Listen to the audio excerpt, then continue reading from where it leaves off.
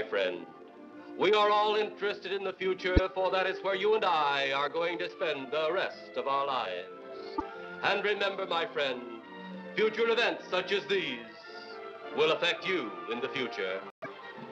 You are interested in the unknown, the mysterious, the unexplainable. That is why you are here. And now, for the first time, we are bringing to you the full story of what happened on that fateful day.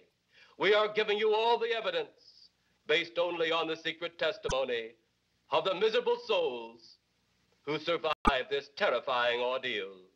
The incidents, the places. My friend, we cannot keep this a secret any longer. Let us punish the guilty. Let us reward the innocent. My friend, can your heart stand the shocking facts about grave robbers from outer space?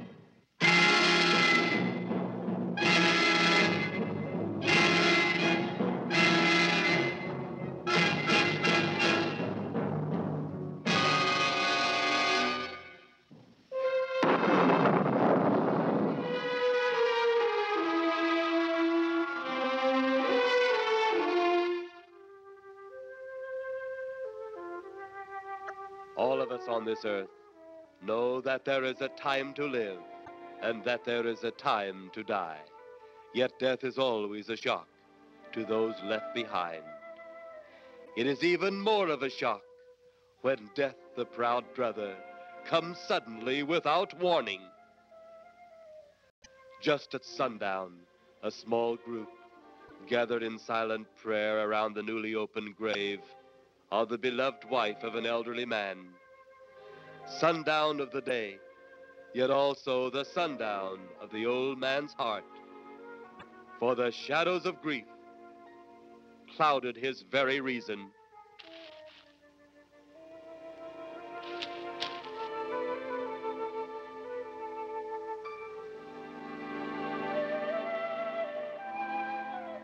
The funeral over, the saddened group left the graveside.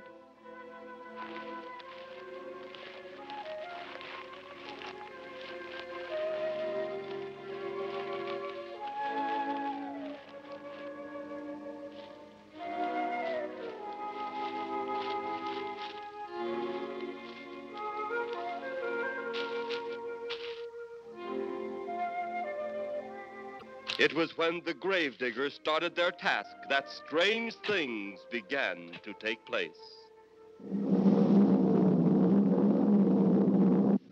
Fifteen to four. Yep, right on schedule. There's the old San Fernando Valley out there now. You better radio in for landing instructions, Danny. Right, Jeff. Burbank Tower, this is American Flight 812. Over. Wouldn't surprise me any if he's asleep this time of the morning.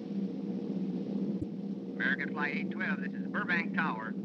If I were asleep, you'd never get on the ground. In your case, maybe I ought to leave you up there for good. Over. You got me that time, Mac. This American Flight 812 requesting...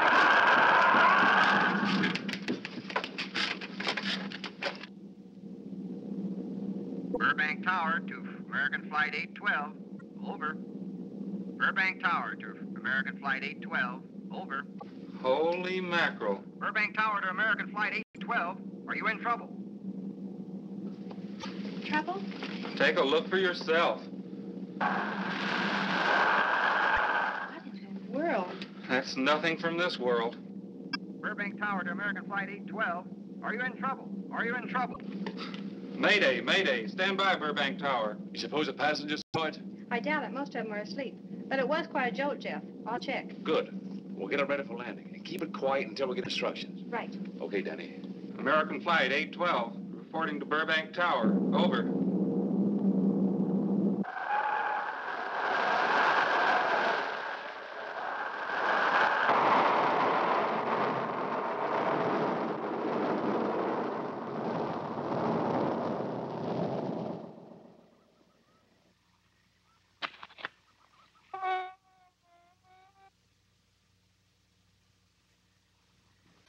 Did you hear anything? Did. Don't like hearing noises, especially when ain't supposed to be any. Yeah, sort of spooky like. Maybe we're getting old. Whatever it is, gone now. That's the best thing for us, too. Gone. Yeah, let's go.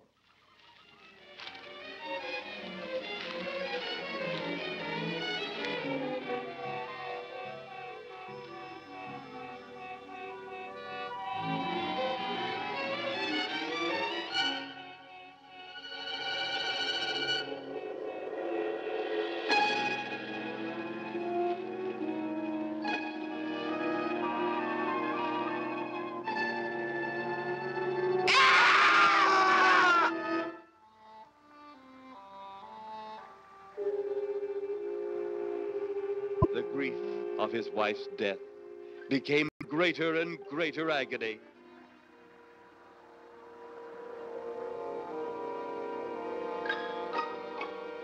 The home they had so long shared together became a tomb, a sweet memory of her joyous living. The sky to which she had once looked was now only a covering for her dead body.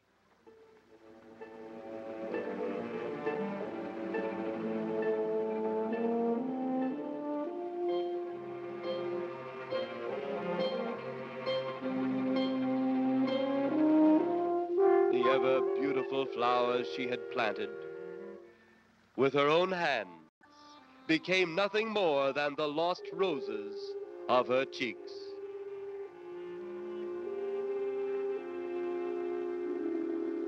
Confused by his great loss, the old man left that home, never to return again.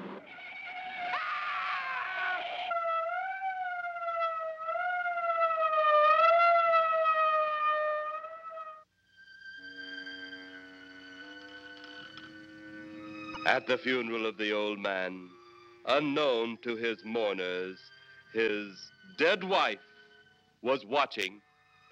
First his wife, then he. Tragic. Tell me something. Why was his wife buried in the ground and he sealed in a crypt? Something to do with family tradition, a superstition of some sort. Oh, Well, it's getting dark. Let's be on our way.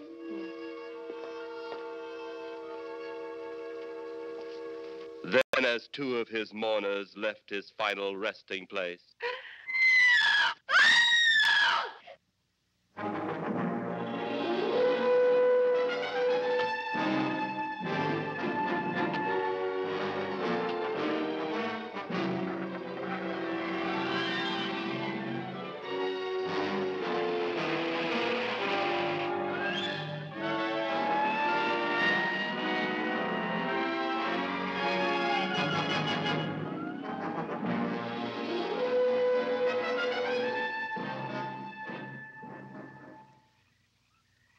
minutes later, the police, led by Inspector Daniel Clay, arrived at the scene. Who found them? The man and girl Medical uh, examiner been around yet? just left. The morgue wagon ought to be along most any time. You get their statement?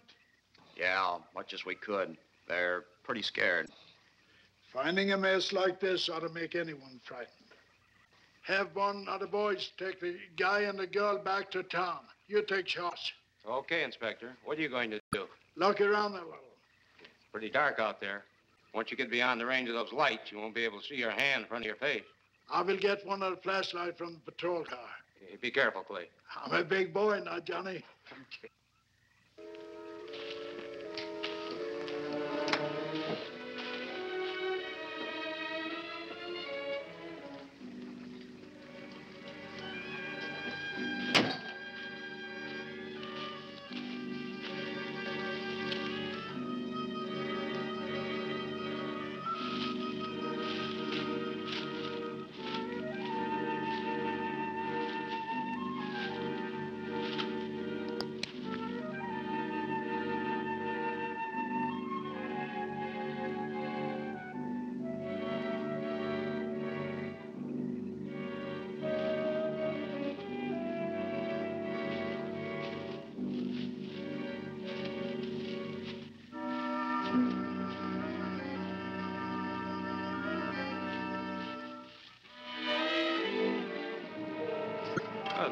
bobcat tore into them. Yeah.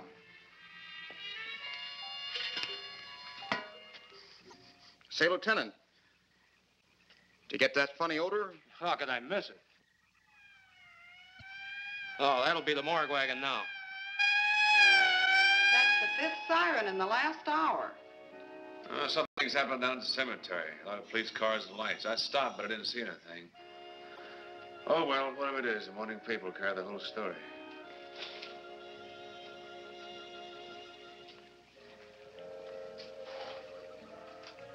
You seem to still be up there somewhere.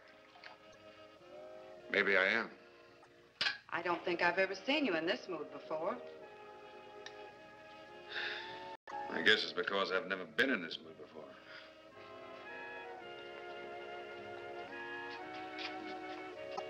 Something about your flight? Yeah. What happened, Jeff?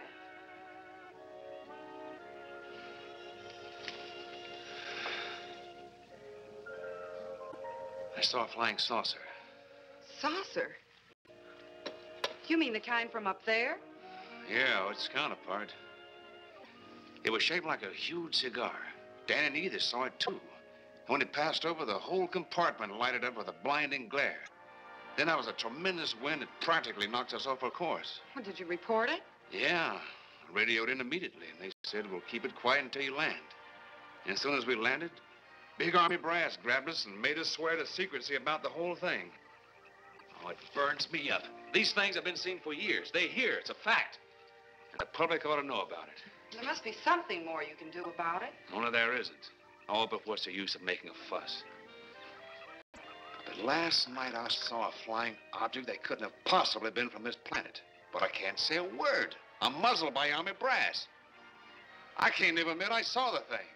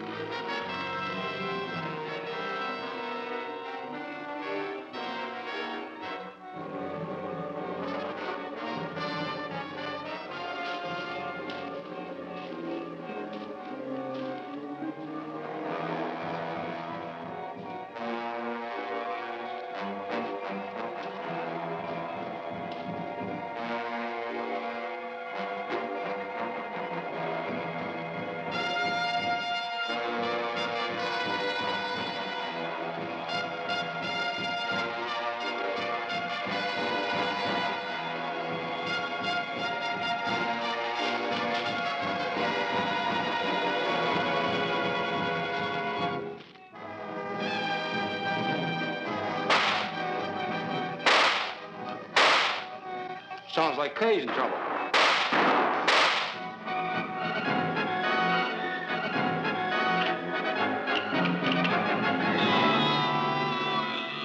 If that apparition we saw had something to do with it, come on.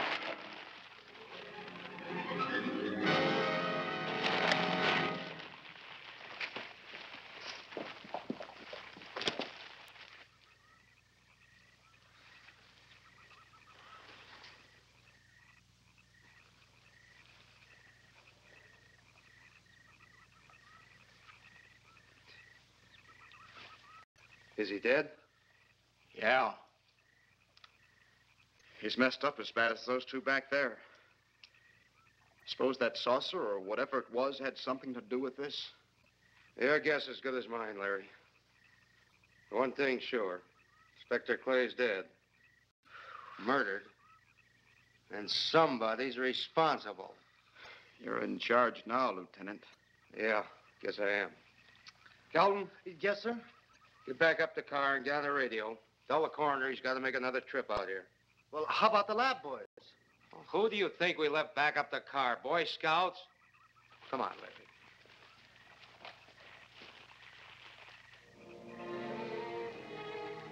Greater love hath no man than to lay down his life for another. It is always difficult to have last words over the grave of a friend. And Inspector Daniel Clay was a friend, a dear friend to me and to all of us. The bell has rung upon his great career. Now we lay him to rest. A rest well deserved, but so premature.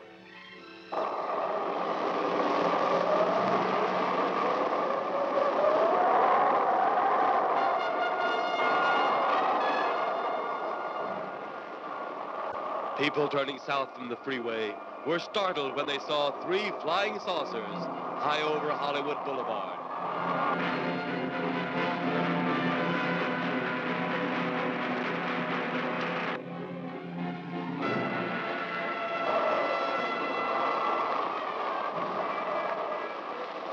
A woman, startled by the sight in the sky, telephones the police.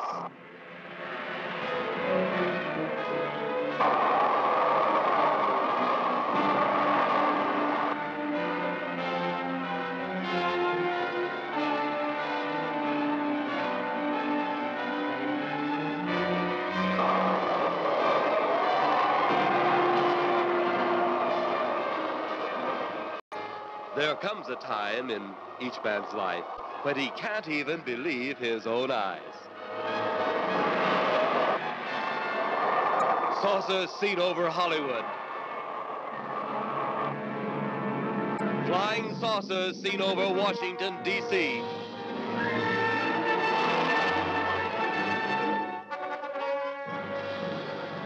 The Army convoy moved into the field.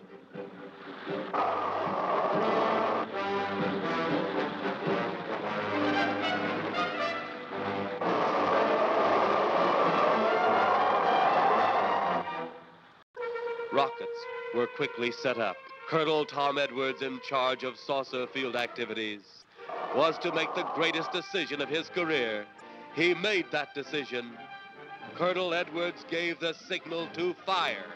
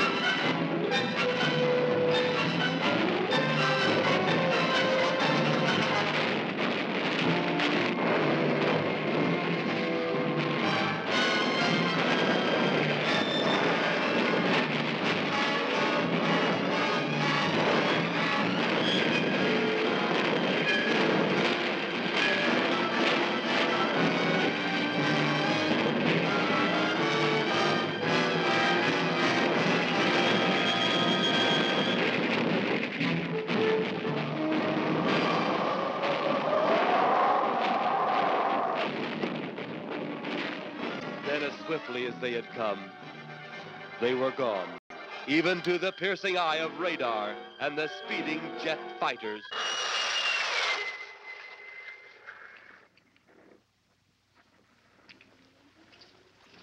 Quite a sight, wasn't it, sir? A sight I'd rather not be seeing. Are you worried about them, sir? Well, they must have a reason for their visits. Visits? Well, that would indicate visitors. Well, the big gun's the usual way of welcoming visitors. We haven't always fired at them. Oh? For a time, we tried to contact them by radio, but no response. Then they attacked a town. A small town, I'll admit, but nevertheless a town of people. People who died. I never heard about that, sir. Well, it was covered up by the higher echelon. Take any fire, any earthquake, any major disaster, then wonder. Flying saucers, Captain, are still a rumor. Officially. Looks like we beat them off again, sir. What do they want? Where are they from? Where are they going? They, sir? Who? Well, this is a training maneuver, sir. We only did a little practice firing at the clouds. Yeah. I wonder what their next move will be.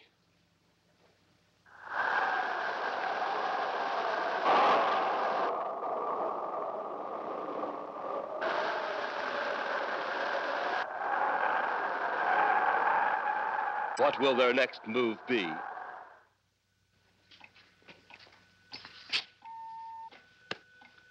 Your space commander has returned from Earth. Send him in.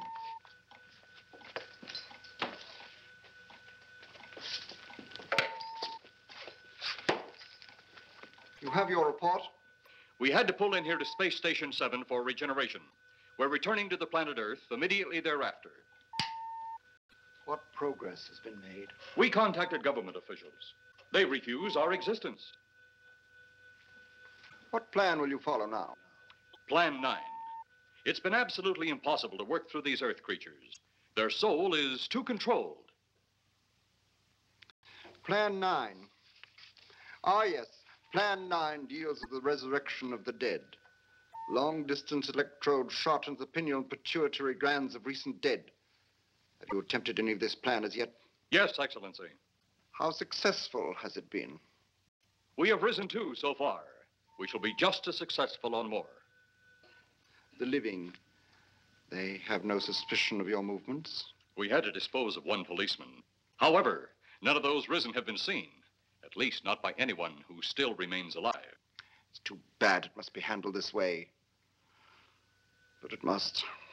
Those who we take from the grave will lead the way for our other operations. So- Yes, Excellency. Continue on. Report to me in two Earth days. I feared His Excellency wouldn't take our report this well. Well, had he been dealing with our own people, his reaction would have been completely different. He understands the difficulties of the Earth race. What do you think will be the next obstacle the Earth people will put in our way? Well, as long as they can think, we'll have our problems. But those whom we're using cannot think. They are the dead, brought to a simulated life by our electrode guns. You know, it's an interesting thing when you consider the Earth people who can think are so frightened by those who cannot. The dead. Well, our ship should be regenerated. We better get started.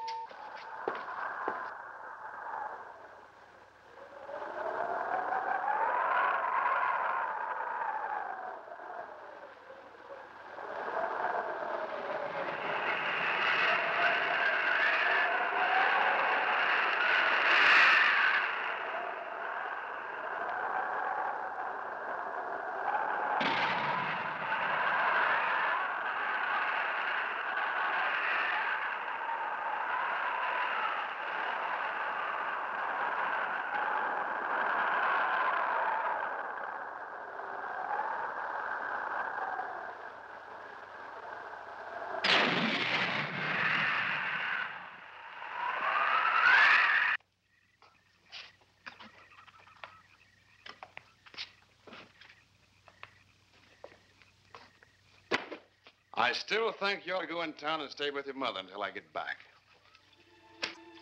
This is our home, and nothing's going to take me from it. Besides, most men try and keep their wives from going home to Mama. That's not the point. That's all the point there's going to be. Now toddle off and fly your flying machine, darling. But if you see any more flying saucers, will you tell them to pick another house to buzz? Be careful. Don't worry about me. Oh, you're the only thing I do worry about. Oh, forget about the flying saucers. They're up there. But there's something in that cemetery. And that's too close for comfort. The saucers are up there, and the cemetery's out there. But I'll be locked up in there. Now, off to your wild blue yonders. You promise you'll lock your doors immediately? I promise. Besides, I'll be in bed before half an hour is gone, with your pillow beside me. A pillow? Well, I have to have something to keep me company while you're away. Sometimes in the night when it does get a little lonely, I reach over and touch it. Then it doesn't seem so lonely anymore. A crazy kid.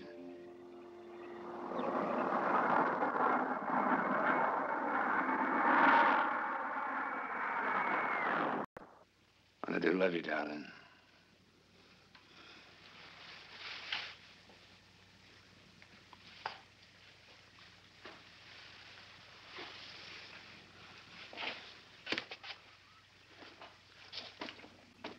See you Thursday. Goodbye, honey.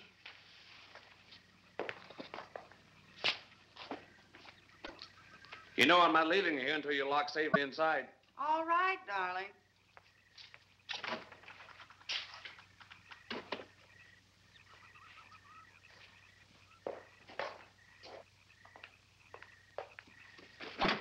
If you're especially nice, I may even lock the side door. And be sure you keep the yard lights on.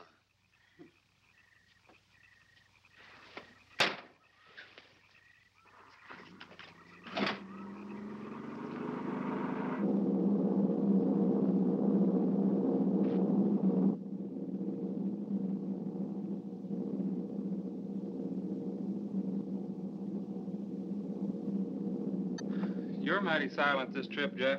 Hmm? You haven't spoken ten words since takeoff. I guess I'm preoccupied, Danny. We've got 33 passengers back there that have time to be preoccupied. Flying this flybird doesn't give you that opportunity. I guess you're right, Danny.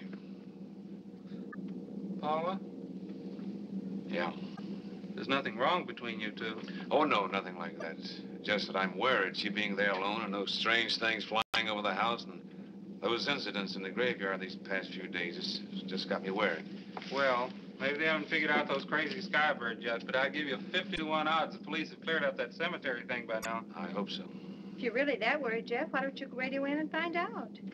Max should be on duty at the field by now. He could call Paul and relay the message to you. Hi, Edie. Hi, Silence. I haven't heard a word from this end of the plane since we left the field. I've just been giving himself and me a study in silence.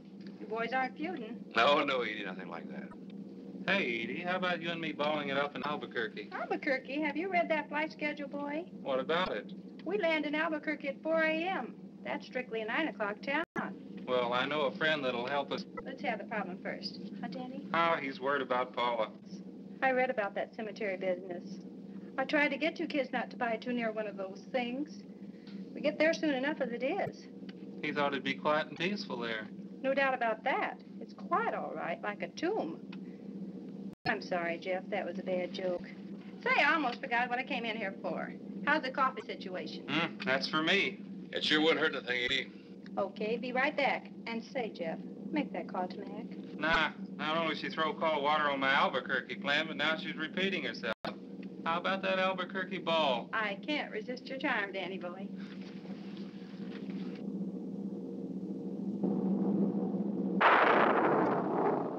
Residents near the cemetery paid little attention to the blast of thunder and the flash of lightning. But from the blast arose the moving figure of the dead old man.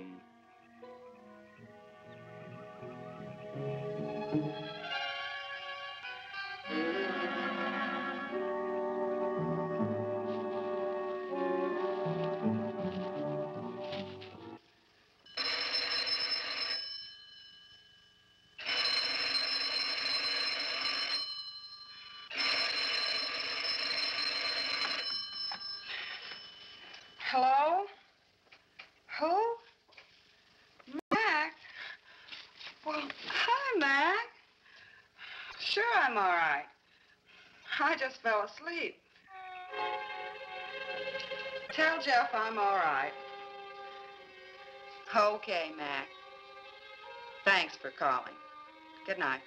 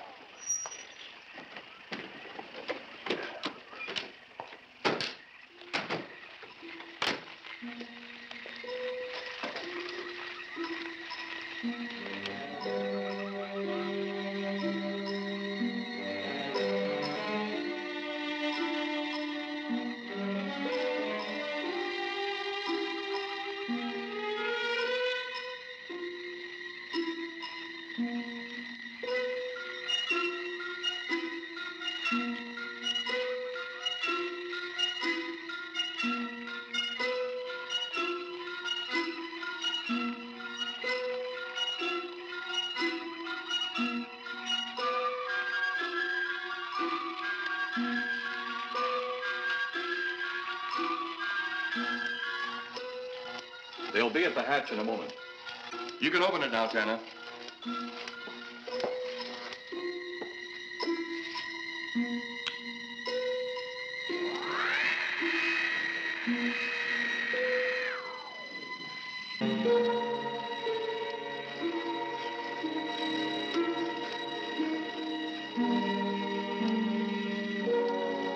Turn off the electrodes quickly. They can't tell us from anyone else.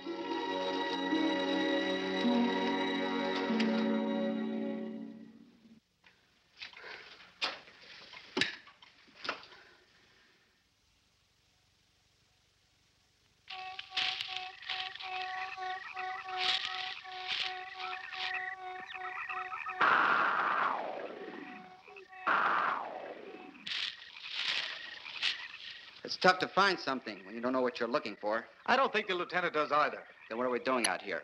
I was off duty an hour ago. Oh, don't ask me any questions. I'm just a hard hand just like you.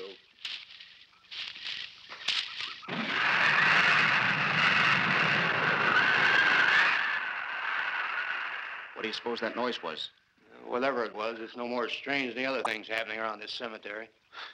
Spirits, like old Farmer Calder talked about. well, maybe.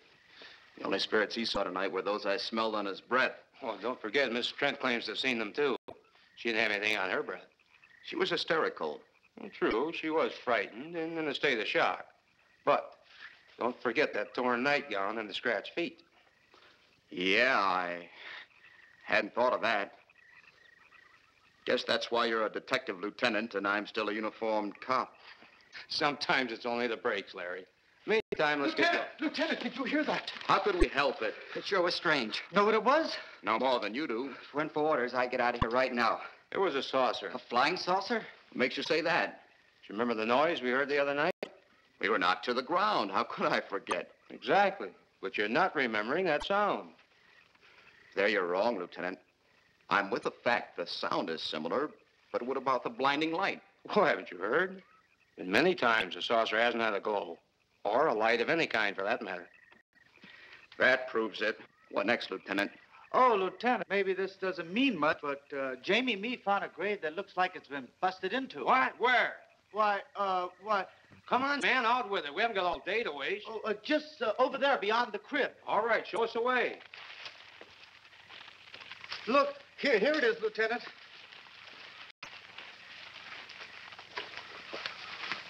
Yeah, it's been broken into, all right. Strange. If someone had broken in, the dirt should be piled up here somewhere. It looks like it's fallen into the grave. Larry, you'll be out of that uniform before you know it. Do we have the right to look down there, Lieutenant? Uh, technically, no. No? Well, this spot looks familiar, though. Yeah, we shouldn't investigate any further without the permission of the next of kin. Let's go get it. How? I see what you mean. The gravestone's down there. Well, let's go down and find out whose grave it is. How? By going down and finding out. Are you sure you mean that, Lieutenant? If I didn't mean it, I wouldn't have said it. Scared? Well, why do I always get hooked up with these spook details? Monsters, graves, bodies. Oh, all right.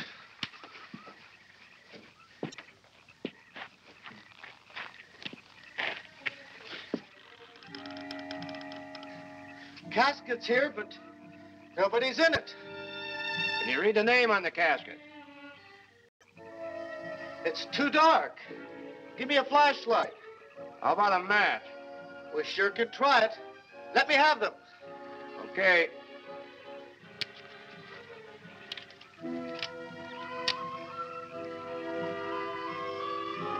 It's Inspector Clay's grave. But he ain't in it.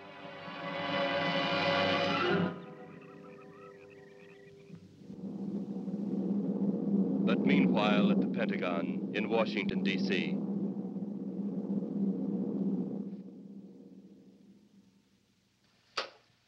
Right, G2. Come in. Yes, of course. I'll keep in touch. Come in, Colonel Edwards. Close the door. At ease, Colonel. Thank you, sir. Sit down.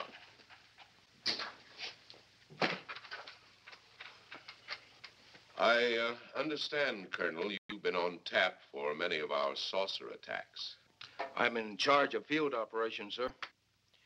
You believe there are such things as flying saucers, Colonel? Yes, sir. You've seen them? Yes, sir. You realize there's a government directive stating that there is no such thing as a flying saucer. Yes, sir. You stand by your statement that you've seen flying saucers? Well, uh. Yes, sir.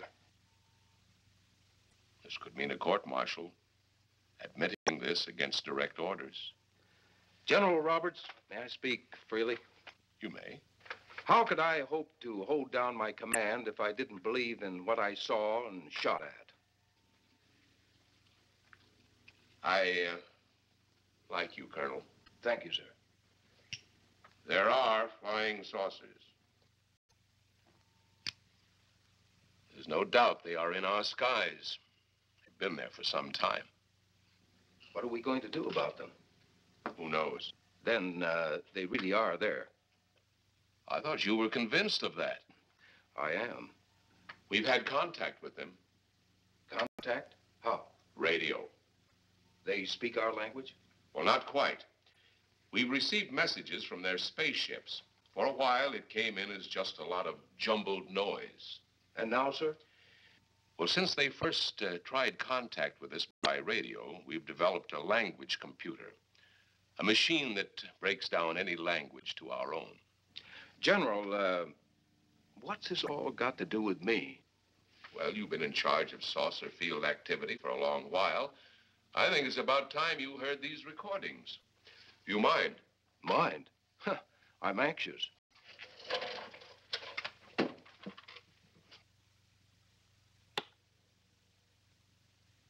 This is Eros, a space soldier from a planet of your galaxy. I fully realize our language differences.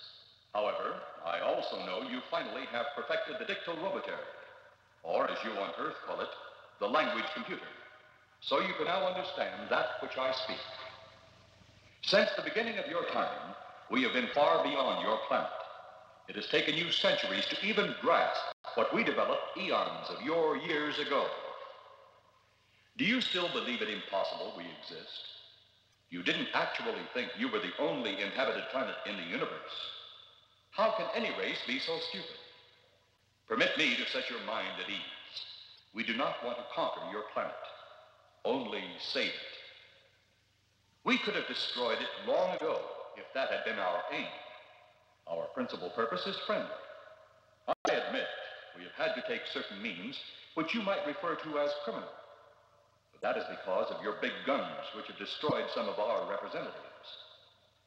If you persist in denying us our landings, then we must only accept that you do not want us on friendly terms.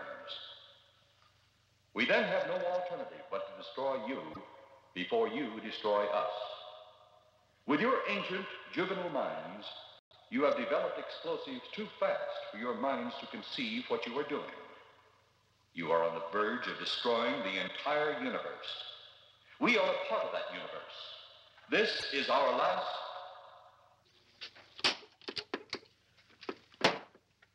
That's the end of that one. Atmospheric conditions in outer space often interfere with transmitting. How many of these recordings do you have, General? Even dozen up to now. This was the last one. We received it over a month ago. Do you think they mean business? We can't afford to take any chances. Come over here.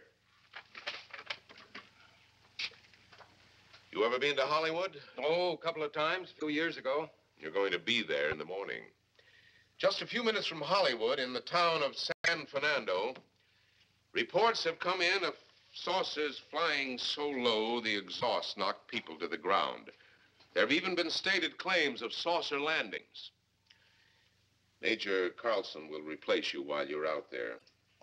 You're the best man for the job of attempting to contact them. Find them, Colonel. See what in hell it is they want.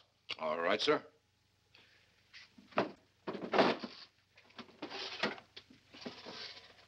These are confidential reports, Colonel. Read them over carefully on the plane. Turn them over to intelligence when you get to Los Angeles. They'll have further orders for disposition. Yes, sir. Colonel Edwards? Yes, sir. Good luck. Thank you, sir.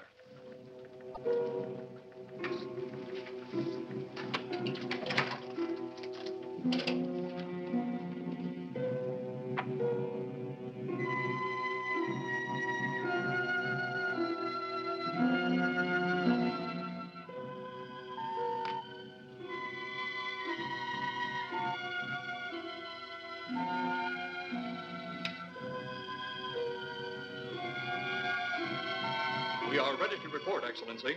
You are many days late. It was unavoidable.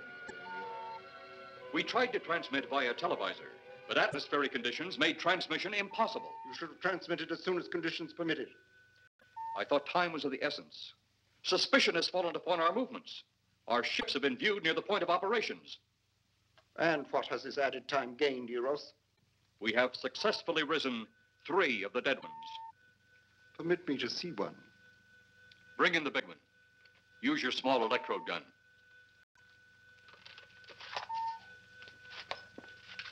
I have taken two ships from your command. But that will leave only my ship. It is necessary that you continue your mission alone. I have need of your other ships elsewhere. Even though you have risen three of the earth dead, the plan is far from successful. And you, Eros, must prove it an operational success before more time, energy, ships, and your countrymen may be spent on it. We will not fail. Everything is on our side. Not everything. You do not have the live Earth people. You reported that your ship was viewed at the scene of your present operations. That is correct. They have been viewed many times, but not at the scene of operations. Something must be done about that.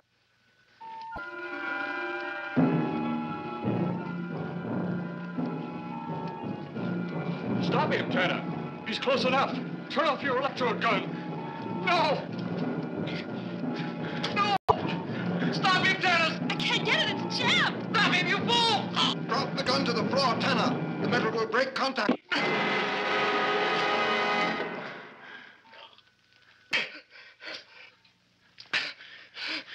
That was too close. Yes. Bring the giant here that I may get a better look at him.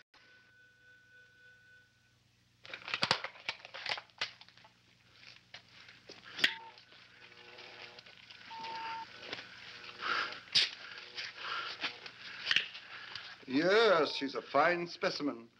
Are they all this powerful on planet Earth? This one is an exception, Excellency.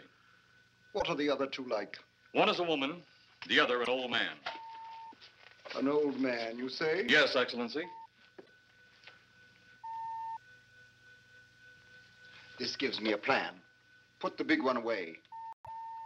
Pick up your electrode gun. Make sure it's in working order before pointing it at him. Whatever made it jam seems to have been cleared by the fall. Take him back to the ship.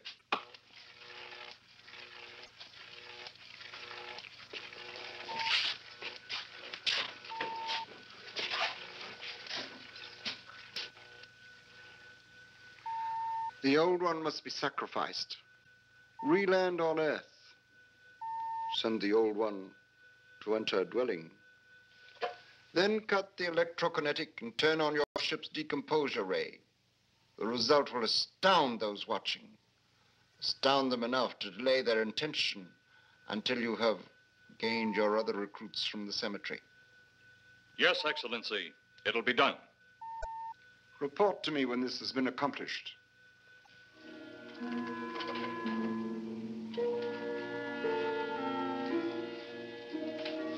Eros, the Earth people are getting closer to that which we fear. Since they will not listen or respect our existence, they cannot help but believe our powers when they see their own dead walking round again, brought about by our advancement and such things. As soon as you have enough of the dead recruits, march them on the capitals of the earth. Let nothing stand in your way. Their own dead will be used to make them accept our existence and believe in that fact.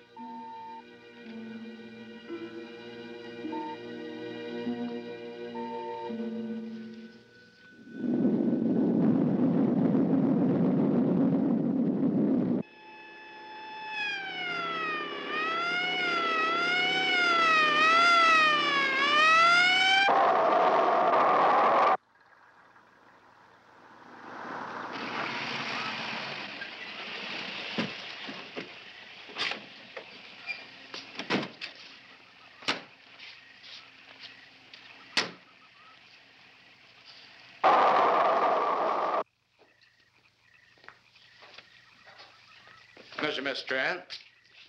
This is Colonel Edwards from Washington, D.C. Good evening, Colonel. Hello, Colonel. Colonel would like to ask you a few questions. Questions? What about, Colonel? May I uh, sit down? Oh, I'm sorry. Please do. I want to ask you about your strange experience the other night when you saw the flying saucer. After that, the police brought me home. I hope I never see such a sight again. Well, after your description, I don't think I'd want to see it either. One thing more. After you were forced to the ground by that blast of wind, was it a uh, hot or cold blast? It's kind of hard to explain. It wasn't hot, wasn't cold. It was just a terrific force. We, we couldn't get off the ground. The light blinded me so badly, I couldn't see a thing. We could only feel the pressure of the wind until it was gone.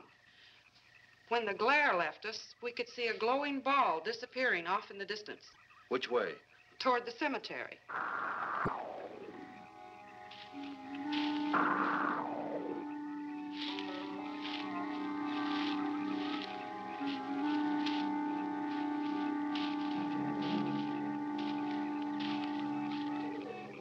This is the most fantastic story I've ever heard. And every word of it's true, too. That's the fantastic part of it. Colonel, we found a lot of suspicious things out in that cemetery. But then again, didn't find anything to base a fact or suspicion on. Hey, do you hear anything?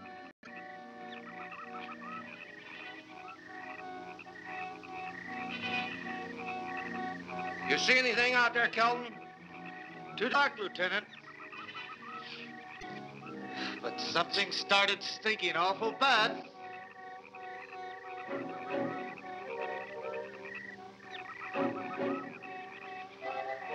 There's something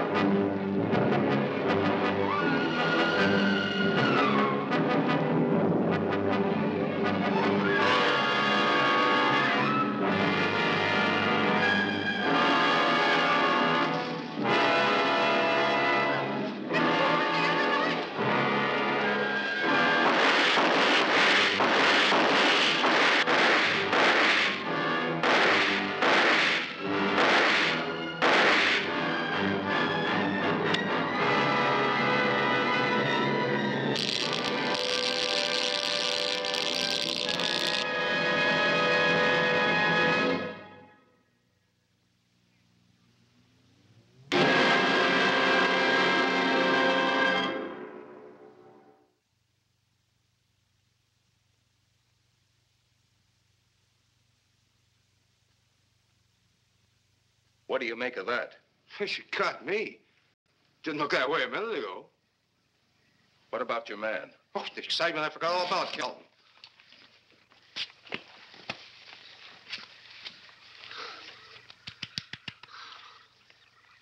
Uh, he'll be all right in a few minutes. Did you see that thing? Did you get it? We got it. What was it? It didn't fall. I fired every bullet I had. So did I. I don't know what it was or what happened. But unless that bag of bones over there can reassemble itself, it's out of the running now.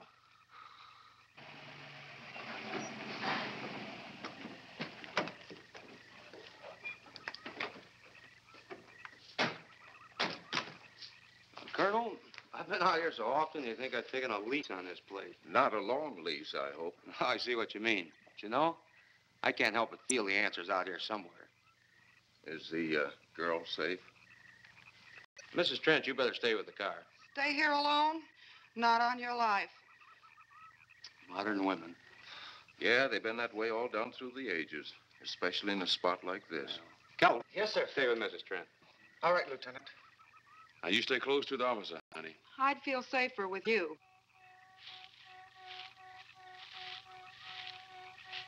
Now, the lieutenant knows best. Well, I don't like it, but I guess there isn't much I can do about it.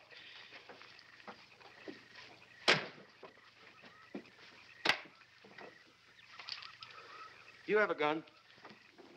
No. You know how to use one? After four years in the Marine Corps? Here. You think we'll need these? You never tell. Let's get going.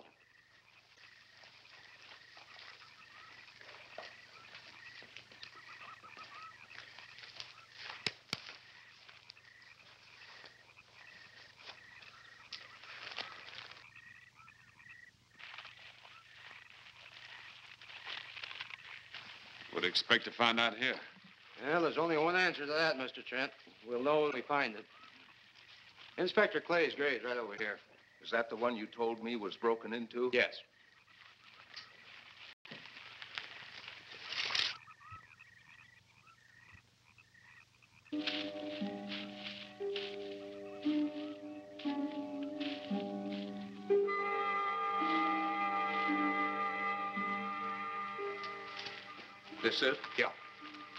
Looks to me like someone had broken out instead of in. I figured that, but that's impossible. Look, Colonel, some things just can't happen. Yeah, well, after that apparition that was draped across Mr. Trent's patio, I would say we should keep our minds open to anything. Look, Colonel, I'm a policeman. I've got to deal in facts. But I guess I'll have to go along with you. You know, I'll bet my badge right now. We haven't seen the last of those weirdies.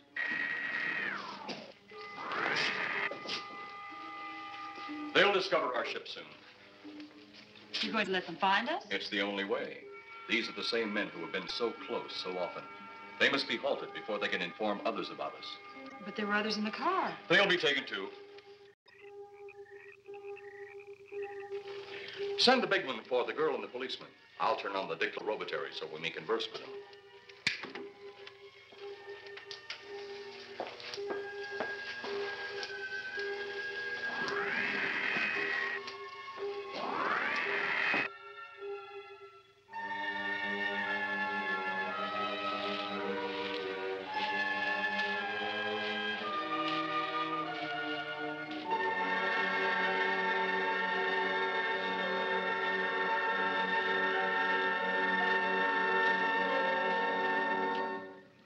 Maybe we're barking up the wrong tree. One thing a policeman learns, Mr. Trent, is patience. Where's that burn spot you mentioned? Right over there. Look.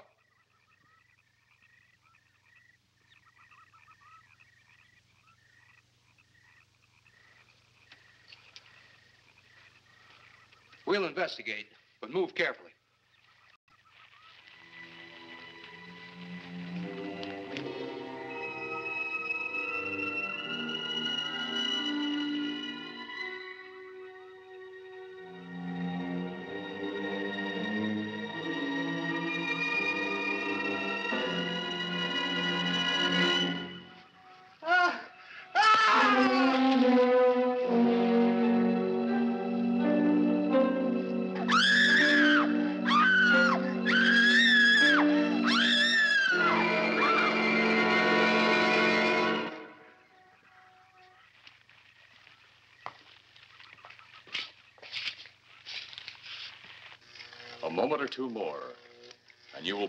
First live Earth people ever to enter a celestial ship. Wow. Boy, how can anything that big hide for so long a time? Never heard metal sound like that before. What do you see? Only my reflection. Must be some kind of one-way glass. I wonder how you get into this thing. I'm not sure I want to find out.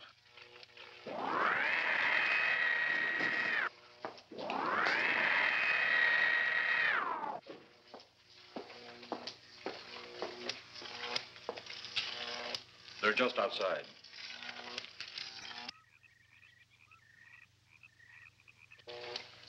You can open the outer hatch now.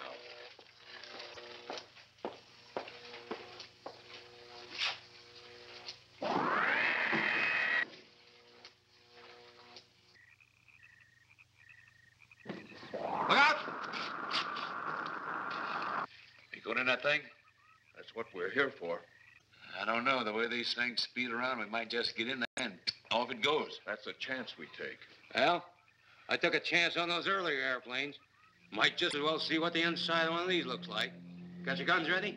I'll tell you one thing. If a little green man pops out of me, I'm shooting first and asking questions later.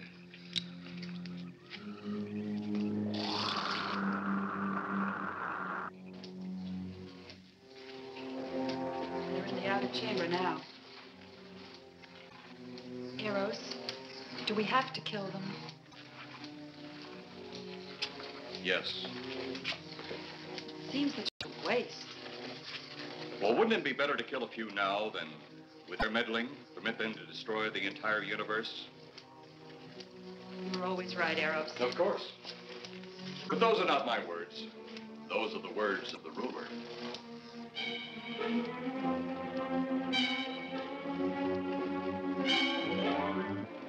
Stay right where you're at.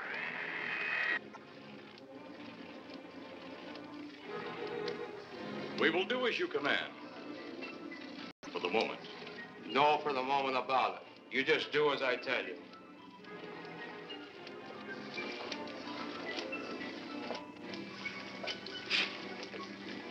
You do not need guns. Maybe we think we do. They would be of no use to you now. They've been mighty useful before on flesh and blood. And you two look like you've got a lot of both. True, they would be effective upon us. If you were to have the opportunity to use them. Mister, if you don't get away from that control board, I'll show you just how effective they can be. Shall we talk now or wait? Your friends will be here shortly. What friends?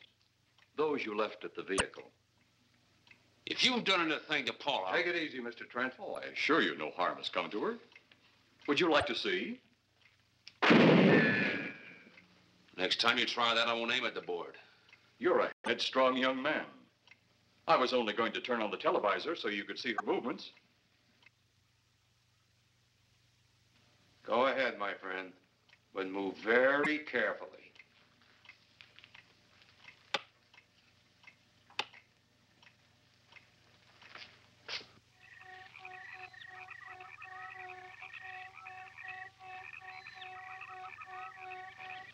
She's only fainted. You fiend. I? A fiend? I am a soldier of our planet. I? A fiend? We did not come here as enemies. We came only with friendly intentions to talk, to ask your aid. Our aid? Yes. Your aid for the whole universe. But your governments of Earth refused even to accept our existence. Even though you've seen us, heard our messages, you still refuse to accept us. Why is it so important that you want to contact the governments of our Earth? Because of death. Because all you of Earth are idiots. Now, you just hold on, Buster. No, you hold on. First was your firecracker, a harmless explosive. Then your hand grenade. They began to kill your own people a few at a time. Then the bomb. Then a larger bomb. Many people are killed at one time. Then your scientists stumbled upon the atom bomb, split the atom. Then the hydrogen bomb, where you actually explode the air itself. Now brings the total destruction of the entire universe served by our sun. The only explosion left is the Solaranite. Why, there's no such thing. Perhaps to you, but we've known it for centuries. Your scientists will stumble upon it as they have all the others. But the juvenile minds which you possess will not comprehend its strength until it's too late. You're way above our heads. The Solaranite is a way to explode the actual particles of sunlight. Why, that's impossible. Even now, your scientists are working on a way to harness the sun's rays. The rays of sunlight are minute particles. Is it so far from your imagination they cannot do as I have suggested? Why, a particle of sunlight can't even be seen or measured. Can you see or measure an atom? Yet you can explode one. A ray of sunlight is made up of many atoms. So what if we do develop this solaranite bomb? We'd be even a stronger nation than now. Stronger. You see? You see? Stupid minds. Stupid. Stupid. That's all I'm taking from you. Get back here, you jerk! Let him finish.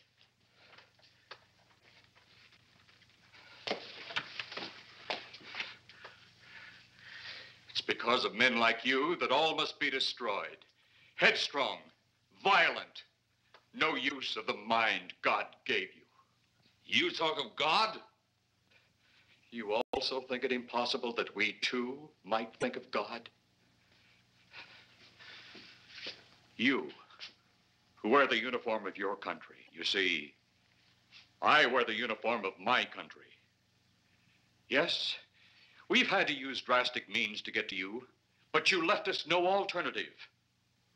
When you have the Solaranite, you have nothing. Nor does the universe. You speak of solaranite, but just what is it? Take a can of your gasoline.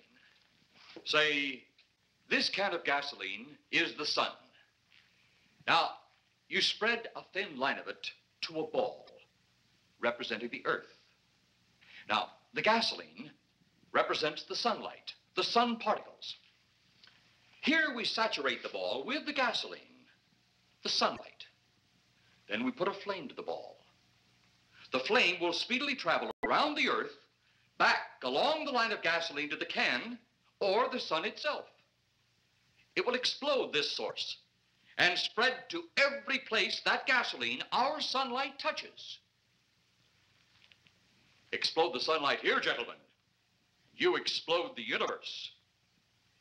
Explode the sunlight here, and a chain reaction will occur direct to the sun itself and to all the planets that sunlight touches, to every planet in the universe. This is why you must be stopped. This is why any means must be used to stop you. In a friendly manner, or as it seems, you want it. He's mad. Mad? Is it mad that you destroy other people to save yourselves? You have done this. Is it mad that one country must destroy another to save themselves? You have also done this. How then is it mad that one planet must destroy another who threatens the very existence? That's enough! In my land, women are for advancing the race, not for fighting man's battle.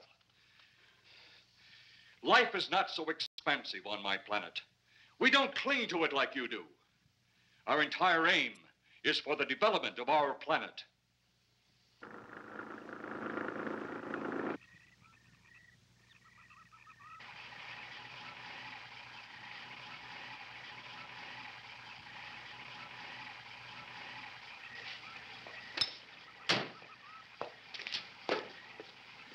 What happened to you? How come you're all alone?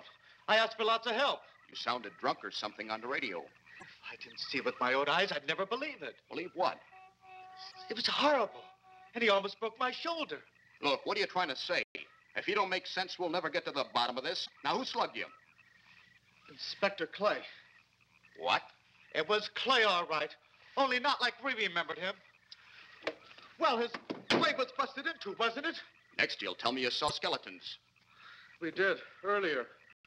Now I know you're off your rocker. All of us saw it. The lieutenant, the colonel, everybody. Where's the lieutenant now? We've got to find him. Mrs. Trent is gone. I was left here to guard her. But Clay showed up and put me out of the running. And the second time tonight, and I'm getting darn tired of it. Which way were they going? Off that way. Come on.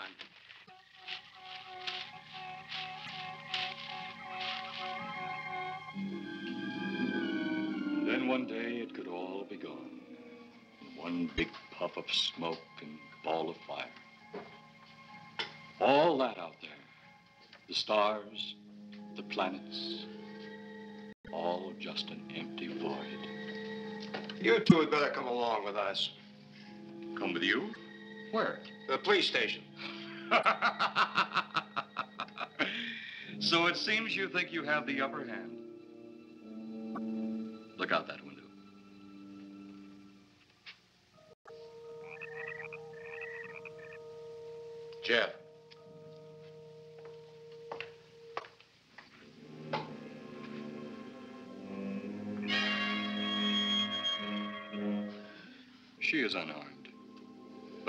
in seconds if I so choose.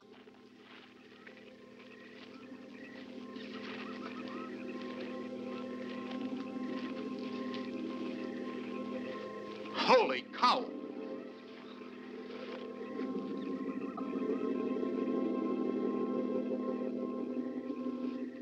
Look there. It's Clay, all right. There's no mistaking that. And he's got Mrs. Trent. Get your gun ready. From all I've seen tonight, guns won't do any good. Clay is dead, and we buried him. How are we going to kill somebody that's already dead? Dead! And yet there he stands. That other one earlier, I emptied a full clip into. I'm seeing it. That's the only reason I'm listening to you. Look, I've got an idea. Hurt him or not, we've got to try something. I'm going to sneak up behind him and whop him over the head. That ought to make a move. Follow me. Even when Clay was alive, he couldn't run fast enough to catch me. So when he does, you grab Mrs. Trent and run like lightning in the opposite direction. Oh, you think it'll work? Know of anything else to try?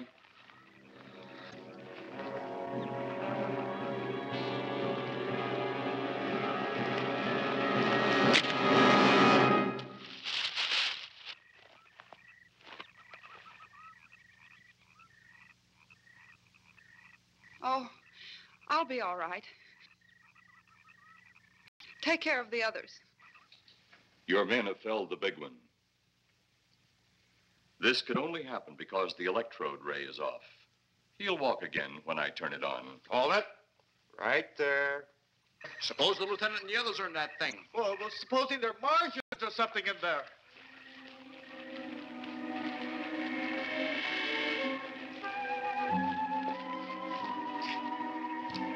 Come on, let's go. Open up in there. Open up. Get that door open. Colonel, I wouldn't know one switch from another.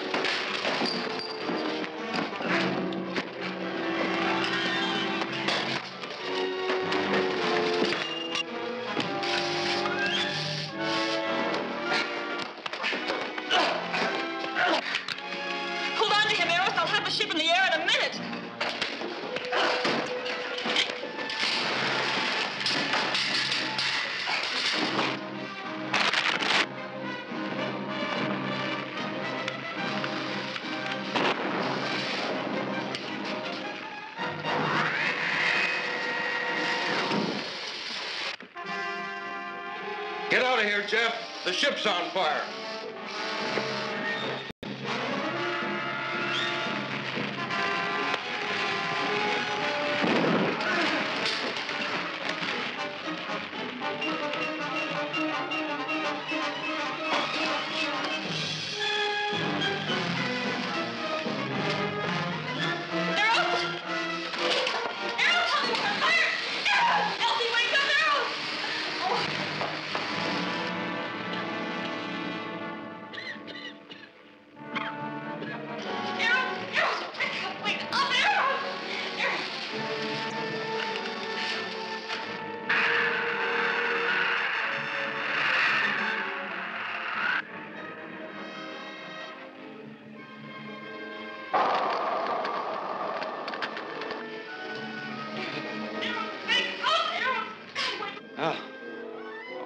Last we'll see of them.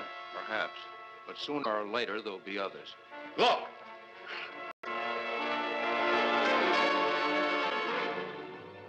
Have they caught that woman? That thing yet? Hey, that's right. There's another ghoul running loose. And it's my guess that she'll look like him. With the ship and the ray gun gone, they have no control. We gotta hand it to them, though. They, they're far ahead of us.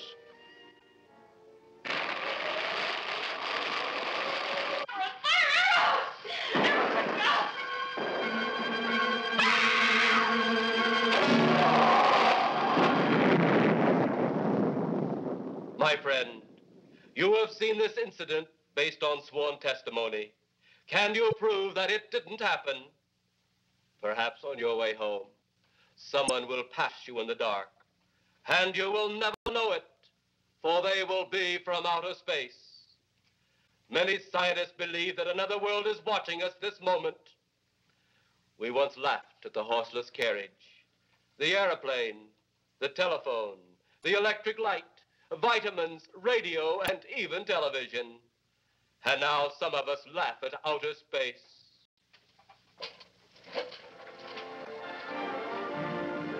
God help us in the future.